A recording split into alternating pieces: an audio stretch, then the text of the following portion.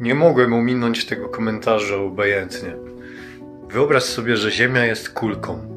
Jak wtedy zachowywałoby się Słońce i Księżyc? No tak, dokładnie tak jak teraz. No widzisz, no wy tam musicie sobie wyobrażać, tak? Ja, ja to rozumiem, no wszystko jest oparte właśnie na wyobrażeniach, cały ten fikcyjny kosmos. Sobie dużo wyobrażać. Ta wyobraźnia jest jeszcze karmiona różnymi lotami w kosmos. Tutaj nachodzi mi tylko po głowie, chodzi mi jedno takie zdanie, że jedyne, co NASA wystrzeliło w fikcyjny kosmos, to ludzką wyobraźnię. Więc ja nie muszę sobie wyobrażać. Ja patrzę i widzę.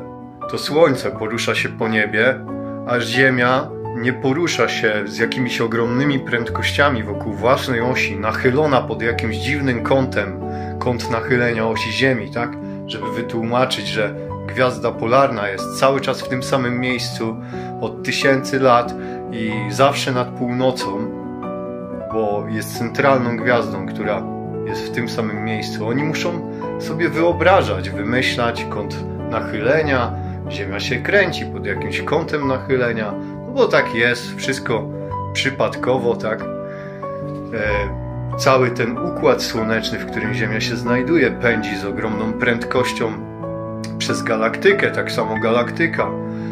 No ale ja stoję tu na Ziemi. Urodziłem się i pierwsze co jako dziecko pomyślałem, no to Słońce się porusza, tak? Ziemia jest nieruchoma. Później w szkole zaczęli mi wmawiać, że jest inaczej. I wam też, że to nie jest tak, jak widzisz. Jeszcze nauczyciel od geografii machał ci palcem, że to podstawowy, karygodny błąd. Przecież Mateusz, to nie słońce się porusza, to Ziemia się kręci z ogromną prędkością, tylko my tego w ogóle nie czujemy. Nie możesz tego sprawdzić, ale tak ktoś tam powiedział, bo on to sprawdził. Ty, Mateusz, musisz sobie to wyobrazić. Musisz sobie wyobrazić, że cały układ słoneczny zasuwa przez kosmos, przez galaktykę, cała galaktyka też. Wszystko to idealnie zsynchronizowane, nagięte logicznie do granic możliwości. Ja mam to wszystko sobie wyobrazić. No może teraz od czasu do czasu nakarmiony będąc jakimiś właśnie filmikami, NASA jest, specjalizuje się tutaj, to jest chyba drugie Hollywood. They, and, uh, and they just start making stuff up. Yeah. Like that Neil Armstrong guy. Have you seen him on the talk shows? Neil Armstrong, you mean the first man to walk on the moon? Talk about a fish story. Yeah,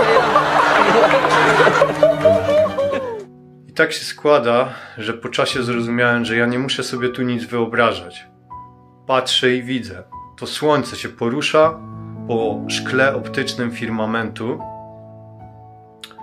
który jest stały, stacjonarny. E, to Ziemia jest e, stacjonarna, nie porusza się, a wy tam sobie dalej wyobrażajcie.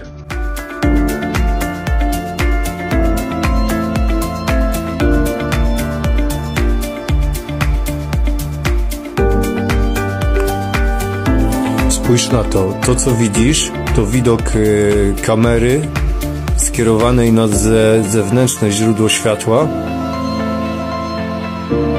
które tworzy właśnie, skupia taki punkt świetny, który z wewnątrz y, kopuły wygląda jak słońce, które y, z, pozo z zapozornego horyzontu, tworzonego właśnie wewnątrz przez kopułę, wygląda jakby zachodziło bez zmiany swojej wielkości. I ten efekt można uzyskać dla każdego obserwatora z dowolnej lokalizacji, ponieważ on jest uniwersalny w każdej lokalizacji na okręgu płaskiej Ziemi, ponieważ firmament y, jest nad całym okręgiem.